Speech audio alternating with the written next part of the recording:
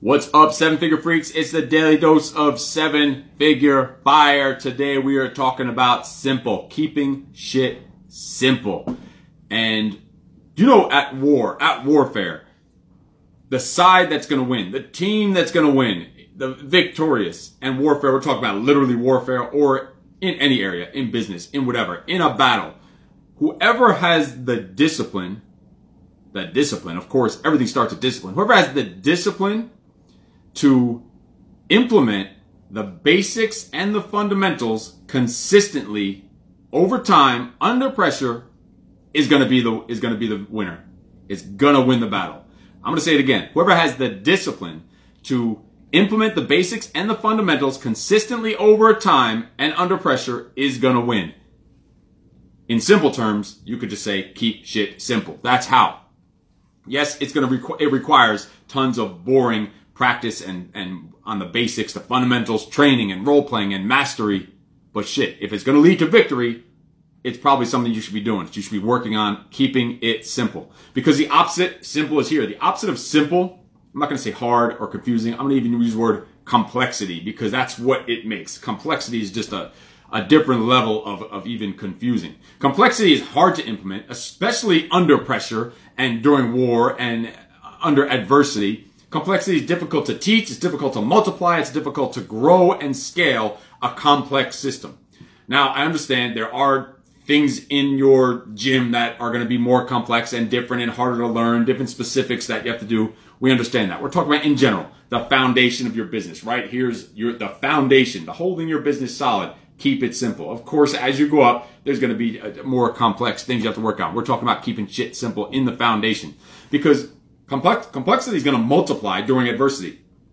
So you're at wartime, or sorry, you're, you're, you're in peacetime, and you have a complex system. Guess what? People are going to be confused as fuck. Now imagine as stress levels start to rise, adversity starts to rise. You go to war. You're at war. That complexity is going to be a negative force multiplier. Negative force multiplier, creating so much more problems, so much more difficulty and confusion than it would normally during peacetime. It's going to be a negative force multiplier. It's going to explode and multiply itself and lead to your freaking doom, basically.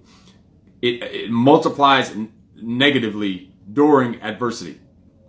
And because think, complexity multiplies during adversity and, or when things go wrong or things don't go the way you're planning, you get punched in the face, it's going to multiply. Things don't go according to plan.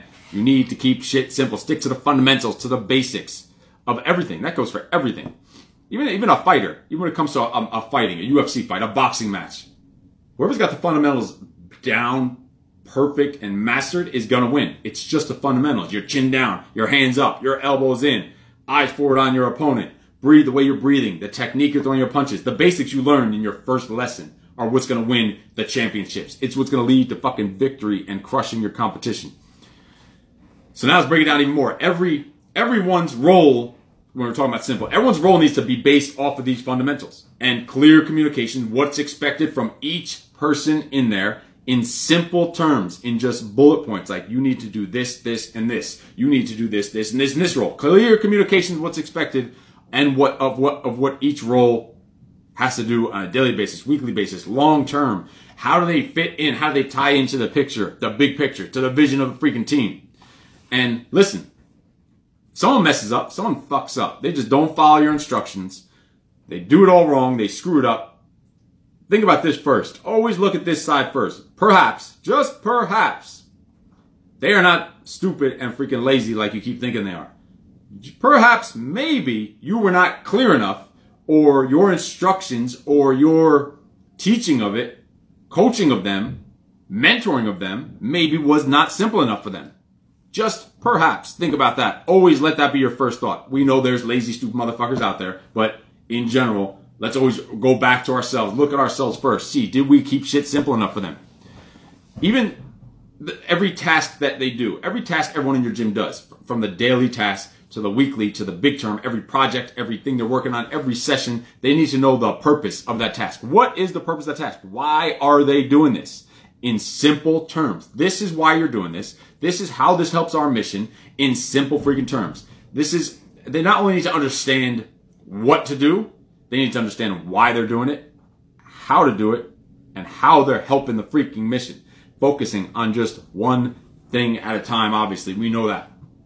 Because you can't get caught up in that, that idea fairy that we know of where you're trying to keep shit simple, you're working on it, and you're coasting, you're just getting complacent on that. And now you're thinking, oh, I'm gonna also do this, this, this, this, this. Next thing you're working on 10 things at once. But yet you haven't even nailed down that foundation, that simple freaking foundation that you should have done. And now you're all over the place, you're scattered, and guess what? Adversity strikes, you're gonna get fucking crushed, is what's gonna happen. Get the basics down, get the simple shit down.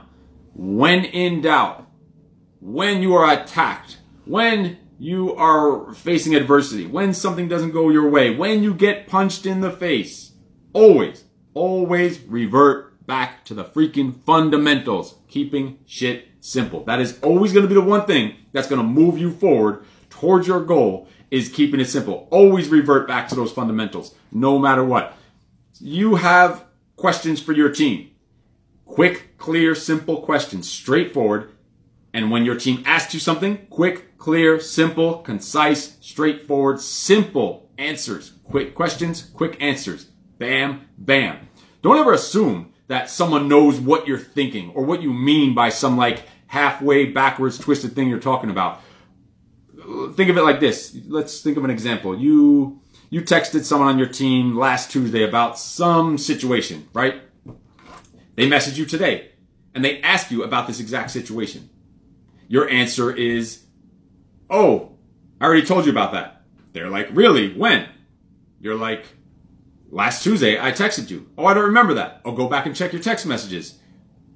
Instead of they ask you a question, give the fucking answer. All that back and forth is like wasted ammunition, just shooting it all over the place, wasting time, wasting effort, ammunition.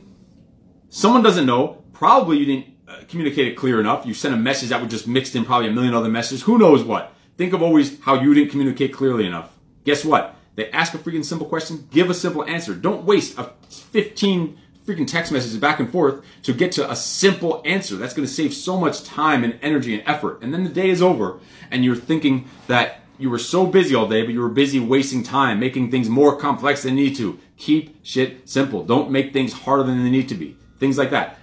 Are you in the right of they should know what you talked about last Tuesday on that text message? Possibly. Maybe you did. Maybe it is. Maybe they should know it. You should, of course, hold them accountable. Of course, we still need to hold them accountable. But at that time, it's it might even be something time sensitive. There might be something they need to get done right now. Maybe someone's standing in front of them right now. It's happened to me many of times where my team leaders told me about something a week ago. Today I need to go and do it. I don't have time to go looking back at my messages. Maybe it wasn't on my account. Who knows what? Whatever the case is. And I, you want the answer? Bam, bam, done. Don't. That's like taking your rifle and just shooting all over the place, all over the place. It should be here. Nice deep breath. Bam. One shot, one kill. Keep it simple. You know, in the in the we're talking about bullets, one shot, one kill. When I was in the Marine Corps, we only had single shot, bam, bam, or three shot burst, where you pull the trigger and it shoots three bullets. All that automatic, where you just hold the thing, it goes, brrr, all that on the basic rifle in the Marine Corps. They after Vietnam, they stopped using those rifles because everyone was making shit more complex than it needed to. They heard a cricket and they would waste. There was something like thirty thousand shots fired for every every kill in Vietnam, something crazy like that. So they actually modified the entire rifles that was the A1 rifle. We had the A2 version of the of the M16 rifle when my when my time came up. Just because of the other generations didn't keep shit simple. They overcomplicated stuff, which probably led to disaster. And I don't want to talk about whatever. What else? Death and who else? Destruction. Keep it simple. It's going to help you move the needle forward. Become the master of the fundamentals. The master of the fundamentals. Another example, Marine Corps example. Keeps it simple. In, in Marine Corps boot camp, we had a boxing match in boot camp in a four foot by four foot ring. Think about that. Four feet. Four feet by four feet ring. Nowadays they don't do it anymore. I don't know. Maybe they, they, they pussified the, the Marine Corps. They don't even do this anymore. Maybe there were too many injuries or they got a little scared or I don't even know. Who knows what. But we used to box in a four foot by four foot ring. So it's you standing there right in someone else's face. You have nowhere to go. And at the time I was a skinny 19 year old freaking punk. Not, I'm not saying I was a great boxer. Not at all. I'm sure many people in there would have whooped my ass. There were some monsters in there. You were mixed matched by different height and weight. It didn't matter because you don't get to choose your enemy. Guess what? They would think, think guys are going there thinking they're going to do these big bombs and these haymakers. I won every single match that I did in there in the four foot by four foot training sessions. Not because I was better, but because I kept shit simple. Literally, just what they taught you was your chin down, your hands are up at your eyes, you're protecting your face, your elbows are in tight, protecting your ribs. All I did is just straight punches, bam, bam, bam, right down the middle. So while everyone's coming in trying to kill you because they're nervous and trying to make it more complex with these fancy little combinations, I'm just in, the, in tight, bam, bam, bam, bam, bam, right in every one of them. Bloody noses, fun stuff. Oh, this is bringing back memories. I gotta go to the gym now. I'm going to the gym. I'm going to punch some shit. Anyway, keep shit simple. I will talk to you later. This is Seven Figure Fire. You are fucking awesome. No excuses.